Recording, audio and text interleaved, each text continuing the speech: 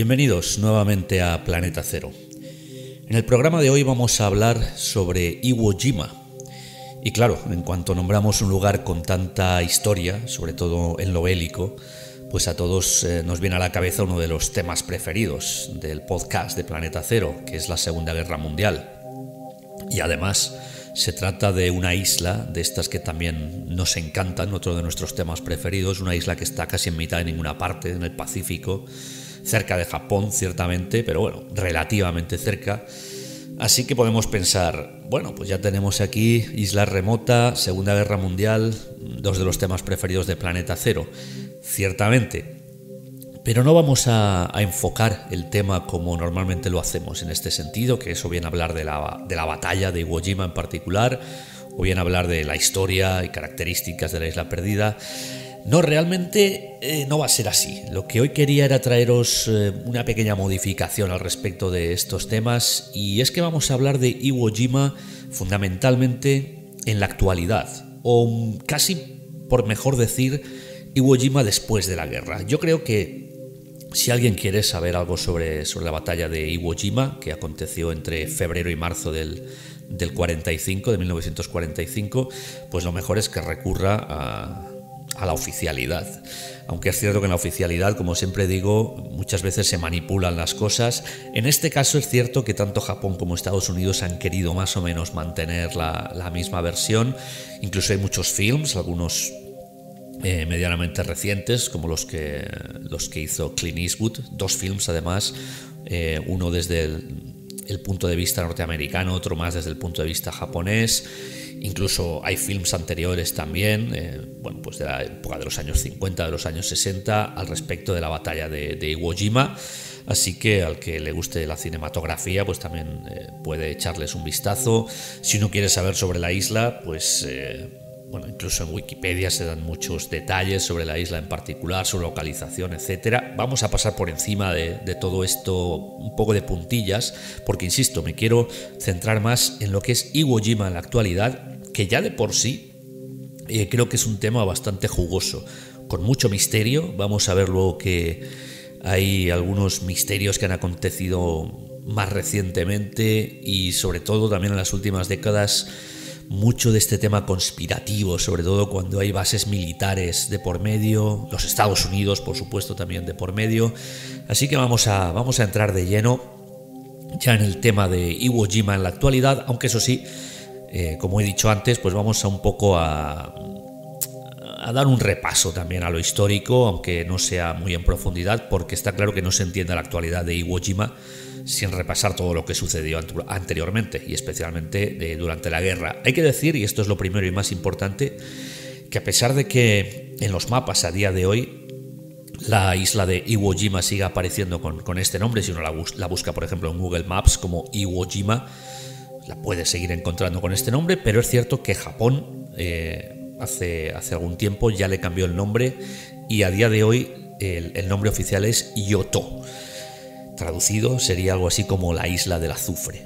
Y es que efectivamente se trata de una, de una isla volcánica y de aquí pues el tema, el tema de, los sulfuros y, además es, muy característica la isla si uno la ve en fotografías o incluso en un mapa porque en, la, en lo que es la parte eh, inferior izquierda, si uno la mira en un mapa, en este caso se correspondería con el, suroeste de la isla, pues está el, monte Suribachi que es eh, un volcán muy característico que hay en, esta, en esta isla de Iwo Jima. Una isla, por cierto, muy pequeña. Vamos a localizarla. Eh, como, decía, como decía, está lógicamente en el, en el, Océano Pacífico, casi casi en línea recta. Eh, si miramos desde lo que es la mainland, la isla principal de Japón, pues casi casi en línea recta al sur, a aproximadamente 750 millas de Tokio en dirección sur. Esto nos llevaría, si la queremos triangular más o menos, estaría en la latitud de Taiwán, realmente muy al sur con respecto a lo que es, eh, a lo que es la, mainland de, Japón y, concretamente de la capital de Tokio. Pertenece al archipiélago de Ogasawara, que son también unas pequeñas islas remotas que se encuentran en esta localización. Y digo bien, pequeñas islas, porque Iwo Jima, o Yoto, si queremos, en la, en la actualidad, es una isla realmente muy pequeña. tiene tan solo 8 millas cuadradas. Así que, insisto, una isla volcánica, archipiélago de Ogasawara, eh, en esta localización que, que, hemos intentado dar, aunque como siempre digo, si abrimos Google Maps, pues eh, no hace falta que yo la intente localizar, o si uno la quiere localizar en cualquier mapa, suele, suele estar bastante bien indicada, sobre todo por lo, por lo histórica. Aunque es cierto que es una isla muy pequeña, en casi todos los mapas uno, uno la puede encontrar.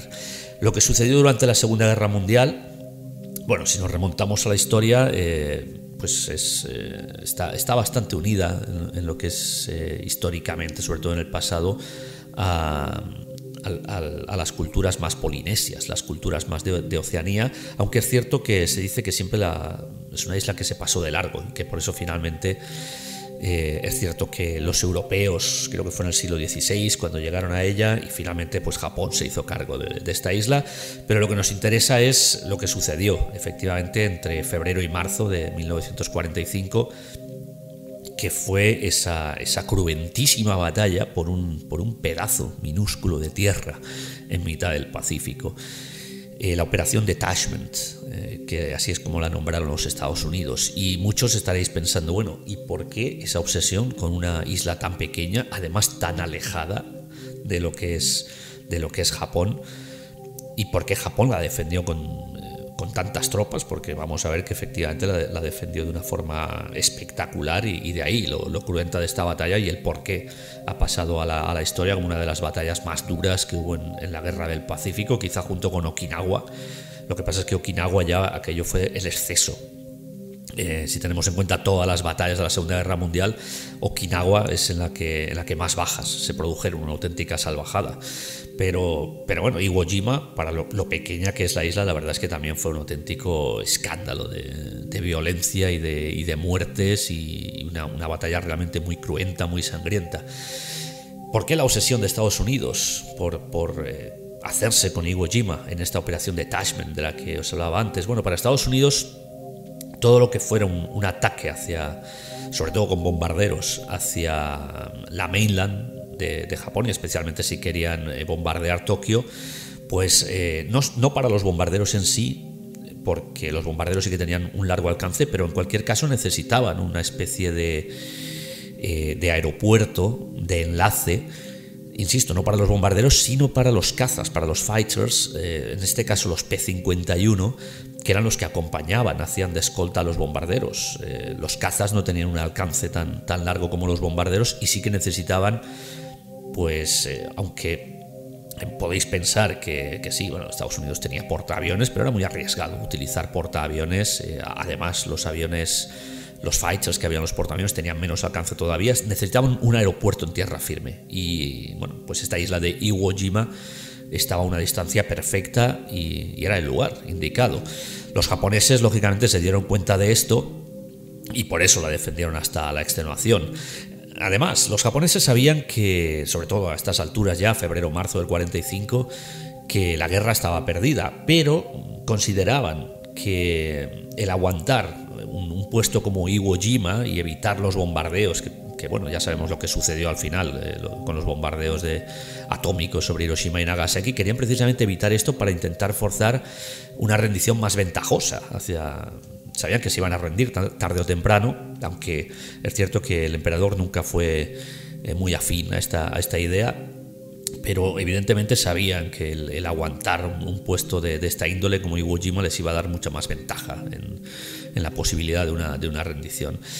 La cuestión es que esta es un poco la, historia de cómo surge una batalla tan sangrienta, cómo los japoneses establecen una resistencia realmente feroz y fijaos en las fuerzas que van a, que van a tomar parte en esta batalla de Iwo Jima 110.000 soldados de los Estados Unidos por 21.000 soldados japoneses, en un pedazo de tierra, insisto, de 8 millas cuadradas. Bien, respecto, la verdad es que los estadounidenses tuvieron muchísimas bajas, pero respecto a los japoneses, lo que más nos va a llamar la atención es que prácticamente todos los que combatieron, eh, pues cayeron. Eh, la mayoría de resistencia que había era resistencia suicida, era el honor a, el honor hacia la, hacia la tierra, hacia Japón, hacia la nación, que hizo que de estos 21.000 soldados hubiera, hubieran al final 18.000 bajas. y tan solo hubo 216 prisioneros, que fue prácticamente los que se rindieron. De 21.000, tan solo 200, aproximadamente 21.000, 216 fueron los únicos que se rindieron porque otros preferían suicidarse antes que la deshonra de la, de la rendición.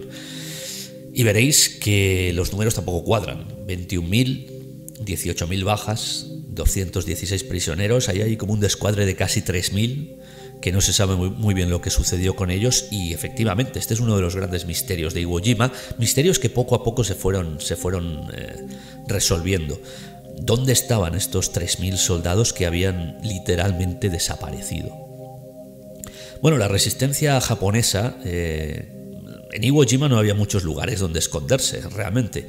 Era, insisto, un pequeño islote y, no tenía estos bosques que en muchos, por ejemplo en Filipinas, en algunas islas de Filipinas, luego se encontraron soldados japoneses en las siguientes décadas, así que no había muchos lugares donde, donde esconderse. Lo que hicieron los japoneses fue un entramado de túneles, de bunkers, de subterráneos, eh, pero no al uso de lo que podemos pensar, bueno, túneles realmente bien construidos. No, no, Iwo Jima es una isla prácticamente de arena, Así que lo que hacían era auténticas misiones de topos, esconderse en la arena y, bueno, hacer túneles, pero con lo que tenían, incluso algunos con sus propias manos, cavaban en la arena, se escondían en la arena, en, pequeños túneles con el espacio apenas para que pasara un humano arrastrándose, pues ahí estaban los japoneses, Allí estaban los japoneses y así hacían frente. Los, estadounidenses, los soldados estadounidenses decían que estaban tranquilamente, eh, bueno, relativamente, con la relativa tranquilidad que podía haber en, Iwo Jima en, mitad de la batalla y de repente en mitad del, eh, del, campamento salía un japonés de debajo de la arena y es que había venido eh, por, por un túnel que había acabado el mismo durante metros y metros y metros e incluso aún que otro kilómetro. Una auténtica locura lo que el, cómo los japoneses combatían a, los estadounidenses en, Iwo Jima.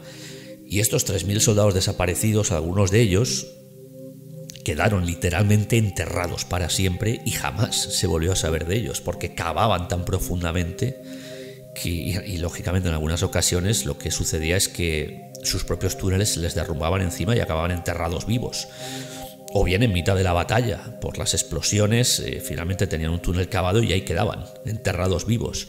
Algunos otros desaparecieron en el mar. Eh, en la desesperación, no querían rendirse, pero en la desesperación huían de las tropas norteamericanas, nadaban hacia mitad de ninguna parte y lógicamente acababan ahogados en el mar, desaparecidos incluso, porque algunos de los cuerpos ni siquiera eh, salían a la, a la superficie. Eh, por el peso muchas veces de, todo el, armamento que llevaban.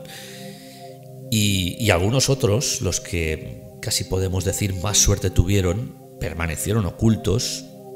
¿Dónde? Sí, sí, no había ningún otro lugar, en estos túneles que cavaron, en, estos, en estos subterráneos bajo la arena, durante años permanecieron ocultos incluso una vez que la guerra hubo terminado. Lógicamente ellos no lo sabían, pero ahí continuaban ocultos intentando hacer sus misiones de emboscadas. En algunos casos ya ni siquiera tenían armamento, simplemente con, con cuchillos, intentando eh, asesinar a, como a modo de comando, de sabotaje a, los norteamericanos. Y efectivamente hubieron muchos reportes de soldados que, que salían, algunos la verdad es que completamente desesperados después de años enterrados en, la arena, incluso salían por las noches a robar suministros, a, intentar pescar en, las playas para poder comer algo. Y, hasta el año 1949, algunos se rindieron en 1949, estuvieron hasta cuatro años algunos soldados japoneses ocultos en, pues en estas pequeñas galerías como auténticos topos eh, en la arena de, Iwo Jima. Así que al final, pues eh, estos 3.000 soldados que no se sabe muy bien eh, qué sucedió con ellos, pues este, este fue el destino de, algunos de ellos. Es cierto que muchos, insisto, salieron y finalmente se rindieron, decían cuando finalmente se rendían, sabían que la guerra había terminado, se enteraban y se rendían, que no se explicaban el por qué los, estadounidenses eran, eran tan buenos con ellos, ¿no? porque eran tan magnánimos y no los mataban allí mismo. Bueno, básicamente porque la guerra efectivamente ya había terminado. Y todo esto ya no tenía ningún sentido. Y ellos tampoco estaban ya en, las condiciones que habían pasado los últimos años para batallar demasiado. Pero es cierto que estos solo fueron algunos de ellos. Otros, insisto, desaparecieron en el mar. Otros seguramente siguen enterrados vivos, sus restos, desde luego, en, esos túneles en lo más profundo de, las arenas de, Iwo Jima. Así que, bueno, fijaos todo esto, eh, toda esta batalla tan cruenta en, en qué derivó finalmente. Pero os decía que os iba a hablar, y la verdad es que al final me he extendido bastante, bastante más de lo que quería hablando sobre lo que, lo que sucedió durante la guerra. Os iba a hablar de lo que sucedió después de la guerra. Y es que Iwo Jima, lógicamente, como, sucedió con muchas otras islas que pertenecían al imperio japonés después de la guerra, pues Iwo Jima sufrió una ocupación militar por parte de los Estados Unidos, ocupación militar, la isla básicamente pasó a, ser parte de los Estados Unidos eh, bajo mando militar eh, hasta el año 1968, durante bastante tiempo, como podemos ver, concretamente hasta el 26 de junio de 1968, en que la isla es devuelta a Japón. ¿Y qué sucedió después? Que también, bueno, pues podemos pensar, porque Iwo Jima eh, anteriormente tenía población civil, anteriormente a la guerra, la población civil fue evacuada en 1944, cuando ya se sabía que Iwo Jima podía ser objetivo de, una invasión estadounidense. Bueno, lo lógico es pensar, o podemos pensar, que se iba a retornar a la población civil, o aparte de la población civil, estamos hablando ya de prácticamente 25 años después. pues los que quedaran vivos o los que quisieran regresar. Bueno, pues los japoneses deciden instalar eh, una base también en, en, eh, Iwo Jima. Y, ahora esto a algunos nos sorprenderá porque, bueno, Japón, a Japón se le prohibió tener un, ejército como tal después de la, de la, Segunda Guerra Mundial. Entonces, ¿qué tipo de base, además base militar, qué tipo de base podían establecer los japoneses? Bueno, una base japonesa entre comillas, porque realmente aquello estaba habían allí soldados, que luego vamos a ver que no, eran, no, son realmente soldados como tal, pero bueno, sí, podemos decir que era una, una base donde se hacían ejercicios militares, había soldados japoneses, pero realmente lo que habían era marines de los Estados Unidos que estaban al tanto de todo lo que sucedía. Así que la base, eh, o Iwo Jima en este caso la isla, no pertenecía a Estados Unidos ya, pero Allí seguían los, soldados estadounidenses pues echando un ojo a, qué es lo que hacían los japoneses en su nueva, en su nueva base que comenzaron a construir. Eh, vamos a ver también que en, los años sucesivos eh, se van a comenzar a, bueno, van a, van a, haber eventos, van a comenzar a producirse eventos en referencia a los aniversarios de, lo que fue la, guerra. Tanto en la fecha se fue moviendo desde febrero o marzo, pero siempre, siempre ha acontecido en febrero y marzo eh, estos aniversarios. Por ejemplo, en 1985 fue el, 40 aniversario, fue la primera reunión que se produjo, ya parece ser que en 1985, eh, después de 40 años, pues eh, la, intensidad un poco del el odio que había entre, entre unos y otros, a pesar de que Japón pasó a convertirse prácticamente en un estado satélite de, de los Estados Unidos, pero seguía habiendo entre la población civil muchísimo eh, resquemor, eh, un cierto odio entre unos y otros. Bueno, 40 años después parece ser que las cicatrices se pudieron empezar a cerrar y hubo reuniones entre, entre veteranos de ambos bandos, insisto, 1985, 40 años después, en el, 40 aniversario, se descubrieron algunas placas eh, conmemorativas y esto luego pues se continuó haciendo de forma regular. En 1995, en el 50 aniversario, se descubrieron varios memoriales también, algunos de ellos por supuesto continuaron en la, isla y, y, después se siguió haciendo, insisto, entre febrero y marzo, año 2000, 55 aniversario, año 2005, 60 aniversario, lógicamente seguían habiendo reuniones de veteranos, pero cada vez quedaban menos. Fijaos, en el 60 aniversario de la batalla, bueno, eh, pues algunos tendrían 80, 90 años y, los que más seguramente ya habrían, ya habrían fallecido. Comenzaron a personarse muchísimos de los familiares, lógicamente, hijos, nietos de los que allí cayeron. En 2015 hubo también un 70 aniversario y yo me imagino que esto pues eh, continuará, continuará a lo largo de la historia. Y ahora vamos a hablar un poco de esa base japonesa que os decía que comenzó una vez que, fue eh, la isla de Iwo Jima, ahora ya Ioto, de vuelta a Japón. esa base japonesa, ¿no? esa base que los japoneses parece que empezaron a construir. Eh, os decía que efectivamente no pertenecería oficialmente a lo que es un ejército japonés, sino, eh, bueno, pues como siempre se busca un poco el, nombre o la denominación que pueda desviar todo lo referente a militar. Eh, la base se supone que está regida por la Fuerza de Autodefensa Marítima de Japón, que básicamente es un ejército que se, le permite tener a Japón una fuerza marítima en caso de que alguna nación extranjera quisiera invadir el país o, atacar al país. Lógicamente no se puede decir que Japón tiene un ejército para atacar a nadie, pero sí como autodefensa. En este caso, bueno, estamos hablando de los años 60, primeros 70 del siglo XX. ¿Y qué hay en esta base japonesa? Bueno, pues lo que hay es una pista aérea que si uno, si uno mira cualquier foto, eh, fotografía aérea o satelital, se dará cuenta que, ocupa pues, gran parte de, la isla, esta, esta, pista aérea, porque la, isla no es, no es tan grande, ni mucho menos. Es una pista aérea de 2.650 metros, de 2 kilómetros y medio de longitud. Eh, hay que decir que que las antiguas pistas, los, aeropuertos o aeródromos de la Segunda Guerra Mundial han quedado ya en desuso. Esta pista aérea es completamente nueva y por supuesto eh, con, esta longitud pues eh, admite todo tipo de vuelos, eh, vuelos comerciales, transoceánicos. Insisto, es, una zona militar, con lo cual no nadie, nadie que no sea un, avión militar puede, puede aterrizar allí, pero es cierto que en algunas ocasiones eh, se ha utilizado la, isla o esta pista aérea por su longitud y por la. pues porque realmente da cabida a cualquier tipo de, aeronave, se ha utilizado para aterrizajes de emergencia o aterrizajes forzosos de vuelos comerciales, eh, que o bien venían atravesando el Pacífico, se encontraban en mitad del océano, así que Iwo Jima sí que en ocasiones ha servido eh, para esto. la guarnición de tropas que se encuentran en esta base es permanente, siempre hay al, menos 400 soldados de forma permanente. Aunque luego veremos que, es bastante curioso porque se prohíbe el acceso a los civiles y una de las excusas es que al ser una zona militar oficialmente no hay habitantes. En, este lugar, en Iwo Jima. Lo cual contrasta con esto que, os comento, que siempre es cierto que de forma rotativa, pero siempre hay 400 soldados ubicados allí de forma permanente. Así que sí, la oficialidad nos puede decir que no hay habitantes, pero está claro que la, que la base militar está en perfecto funcionamiento de forma continua. Y junto a estas 400 soldados, bueno, hay muchos, hay muchos más que también van llegando a, la isla, pero el mínimo siempre son 400 soldados japoneses, pues también hay tropas de los Estados Unidos.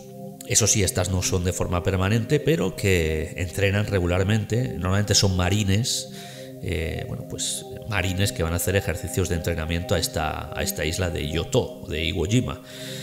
No deja de resultar curioso que los estadounidenses devolvieran la isla en 1968 y desde entonces han hecho absolutamente lo que han querido en la isla, sobre todo el ejército de los Estados Unidos, que ha seguido paseándose por allí, pues como si aquello fuera realmente todavía territorio de los Estados Unidos. Incluso hasta 1994 tenían su propia estación de comunicaciones, a la que los japoneses no podían acceder.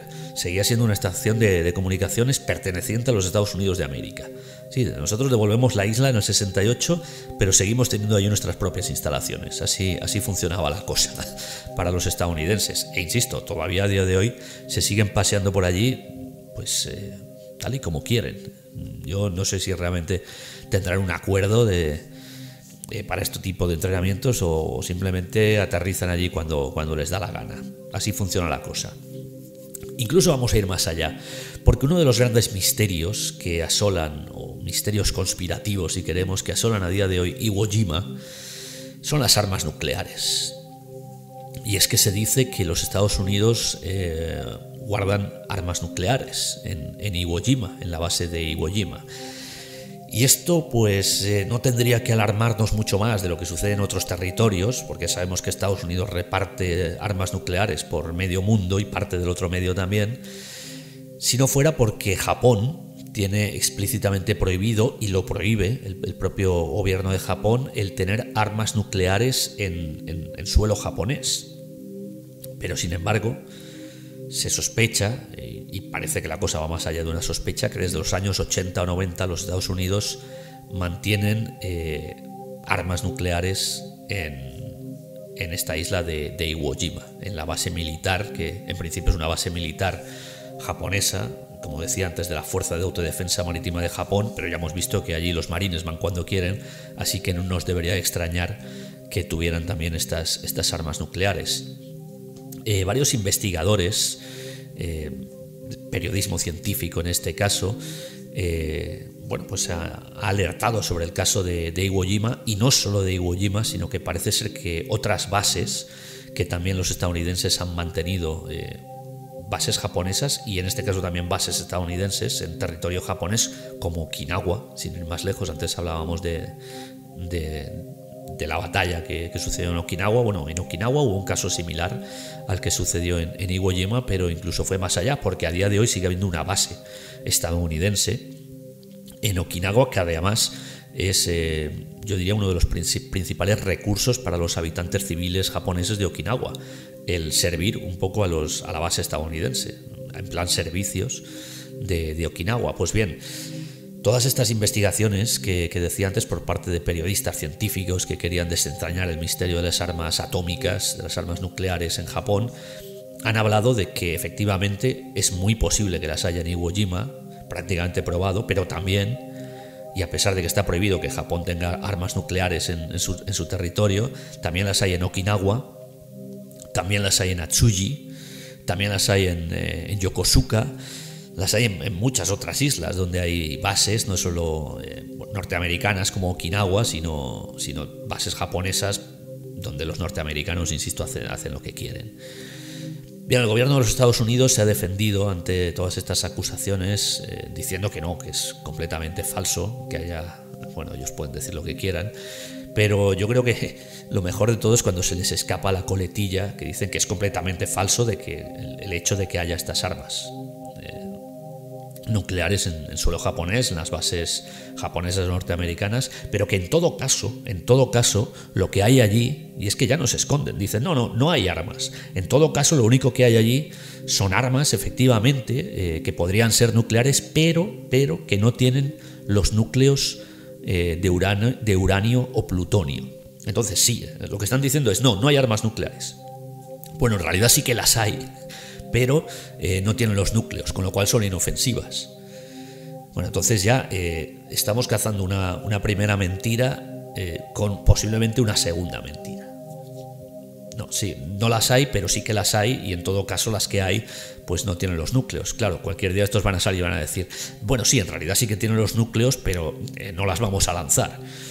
Esta es un poco la, extraña excusa del gobierno de los Estados Unidos al respecto de, de esta sospecha de las armas nucleares en, muchísimas bases en suelo japonés y concretamente de la que estamos hablando hoy, que es de la de Iwo Jima o, insisto, si queremos hablar con más propiedad, la isla de Yoto.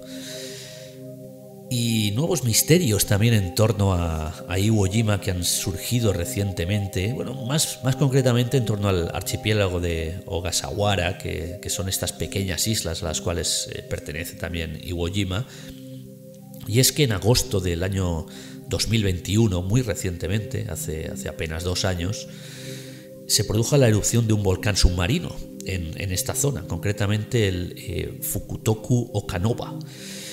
este, este, volcán submarino es una, zona, lógicamente, ya hemos hablado antes de que incluso en, la propia isla de, Iwo Jima está el, monte Suribachi, que es un volcán. De ahí que a día de hoy se, denomina la isla Yoto, la isla del azufre. Todas estas islas son lógicamente volcánicas, hay volcanes submarinos y en este caso, pues con la erupción de este, de este volcán que os decía, eh, surge, surgió un pequeño islote nuevo. Esto es algo que sucede muchas veces en estas zonas volcánicas. Eh, seguramente muchos de vosotros habréis escuchado eh, que en Islandia esto es algo bastante corriente, ¿no? que de vez en cuando surja un pequeño islote nuevo, también es una zona volcánica. Bueno, pues esto también sucede lógicamente en, en el Pacífico y concretamente en en zonas cercanas a Japón. No solo surgen islas nuevas, sino que algunas otras desaparecen, algunos islotes con estas erupciones volcánicas. Y no solo apareció un nuevo pequeño islote gracias a esta, esta erupción de un volcán submarino, sino que de pronto surgieron del fondo del mar barcos. Eh, no solo surgieron del fondo del mar, sino que los barcos eh, salieron a flote y comenzaron a llegar a las playas de, todas estas islas del archipiélago de Ogasawara, incluyendo a, las costas de, Iwo Jima. Comenzaron a, llegar barcos, lógicamente, completamente eh, destrozados, yo diría prácticamente que restos de barcos, más que barcos en sí, pero flotaban y efectivamente llegaron hasta, hasta estas playas. ¿De dónde salen estos barcos? Nos podemos imaginar o, pensar lo primero que son eh, pues eh, navíos que durante la contienda en Iwo Jima, que sabemos que fue muy feroz, pues se fueron al, fondo del mar y, ahora pues están, están, están volviendo. Lo curioso es que no, no se trata de barcos de guerra, sino que se ha desentrañado que son cargueros. Y son cargueros japoneses no identificados, que la Marina japonesa no tenía catalogados. Y aquí es un poco donde empieza el misterio. ¿De dónde salen estos cargueros japoneses? Eh, los estadounidenses parece que tampoco tenían registros de haberlos, de haberlos hundido, así que nadie sabe muy bien estos cargueros que efectivamente sí que se corresponderían con, estas fechas, eh, barcos de, los años 30, de los años 40. Eh, ¿Qué sucedió con estos barcos? cayeron en alguna batalla fantasma que nadie realmente sabe muy bien lo que sucedió. Claro, ya se estaban dando, intentando dar todo tipo de explicaciones extrañas y finalmente, finalmente sí que se ha encontrado una explicación racional. Y es que eh, durante la batalla de Iwo Jima, concretamente, durante estos meses de febrero y marzo de 1945, los estadounidenses, los Estados Unidos, utilizaron, y esto, esto no se sabía hasta, hasta este momento, hasta que comenzaron las investigaciones, algunos antiguos cargueros que habían requisado de forma, no vamos a decir pirata, porque estamos en mitad de una guerra, pero sí de forma un tanto fantasmagórica. ¿no? Era una, operación que había permanecido en secreto, el, asaltar cargueros eh, japoneses durante eh, los años 30, 40, incluso antes de la guerra, que esto también es muy importante. Y esto va a corresponder bastante con lo que yo siempre explico aquí en Planeta Cero cuando hablamos sobre las batallas del Pacífico y concretamente sobre la guerra entre Estados Unidos y Japón. Y es efectivamente eh, lo que vi cuando fui al Museo Yushukan en Tokio, la información que dan los japoneses de por qué atacaron Pearl Harbor y por qué entraron en la guerra. Se dice que fue una auténtica locura, que no tenían el porqué, que obligaron a los estadounidenses a entrar en guerra. No, no fue así. Estados Unidos estaba haciendo un bloqueo sobre Japón, eh, estaba evitando que los japoneses eh, pudieran traer materias primas hasta Japón que necesitaban. Un bloqueo en toda regla obligando a los japoneses a iniciar la guerra porque Estados Unidos quería entrar en la guerra. Creo que ya lo comentamos varias veces en diferentes eh, podcasts, en uno muy recientemente en el que hacíamos una cronología expansiva sobre la Segunda Guerra Mundial. Y este es un caso que perfectamente viene a demostrar lo que los estadounidenses casi siempre negaban o han negado que Pearl Harbor fue un ataque sorpresa. No, no, Estados Unidos se lo esperaba porque ellos estaban continuamente eh, haciendo un embargo sobre, sobre Japón. Y un embargo que iba mucho más allá de lo diplomático, como podemos ver, y es que efectivamente secuestraban cargueros durante los años eh, finales de los 30, principios de los 40, cuando todavía Estados Unidos no estaba en guerra con Japón, secuestraban cargueros y los requisaban y se hacían ellos eh, con los propios cargueros, los robaban básicamente para que no pudieran llegar a destino. Un acto completamente pirata, como decía antes. ¿Qué pasaba con las tripulaciones? Pues de esto casi casi mejor es que no hagamos preguntas. Lo que pasaba con las tripulaciones de estos cargueros que tampoco podían reportar lo que, lo que sucedía. Así que estrategias de guerra de los estadounidenses pues eh, las podemos tomar como tal, aunque hay que decir que Estados Unidos todavía no estaba en guerra. Así que ahora sigamos explicándonos por qué Japón atacó Pearl Harbor. Bien, pero en cualquier caso retomamos el tema de estos cargueros que han vuelto a la superficie, que han llegado a las playas. Parece que finalmente eh, los cargueros, estos navíos de carga, han conseguido alcanzar sus destinos o algún que otro destino. Bien, los estadounidenses finalmente lo que han declarado es que efectivamente eh, ellos requisaron aquellos cargueros en su día, han pasado muy por encima del asunto, por supuesto, y los utilizaron en la batalla de Iwo Jima para proteger el desembarco de las tropas. ¿Cómo es esto? Bien, lo que hicieron fue hacer un, alineamiento con todos estos navíos fantasma, porque eran navíos que estaban completamente vacíos. Eran básicamente barcos grandes que alinearon a modo de rompeolas para proteger el desembarco de los soldados de la, marea. Así que eh, bueno, pues, eh, bueno, no solo de la marea, realmente también de, posibles ataques eh, japoneses sobre el desembarco. Así que los pusieron en, una zona distante de la costa, pero efectivamente para hacer una especie de perímetro en torno al, desembarco de, sus tropas. Y finalmente los abandonaron y los hundieron para que no quedara rastro de, de aquellos cargueros una vez que ya habían habían servido a su cometido. Así que esta es la curiosa historia de estos barcos fantasma que gracias a una erupción volcánica han salido de nuevo a flote y ahora sabemos que efectivamente sabemos lo que estaban haciendo los Estados Unidos y que efectivamente este bloqueo y este secuestro de cargueros antes ya de la guerra estaba efectivamente existiendo. ¿Cuál es la moraleja de todo esto? Pues que al final, aunque se quiera ocultar, la historia siempre emerge, vuelve a salir de alguna manera. Fijaos, en este caso gracias a la erupción de un volcán submarino. Iwo Jima, cuántas historias nos puede traer esta pequeña isla y lo que sucedió allí durante la Segunda Guerra Mundial. Cuántas historias nos está trayendo, nos ha traído y quién sabe lo que todavía hay en los fondos marinos en torno a Iwo Jima y todavía lo que, lo que puede seguir saliendo de, del fondo del, del Pacífico para iluminarnos un poco más en lo que es la historia de lo que sucedió durante la Segunda Guerra Mundial. Espero que os haya gustado el podcast de hoy y ya os emplazo hasta una nueva ocasión. Hasta pronto.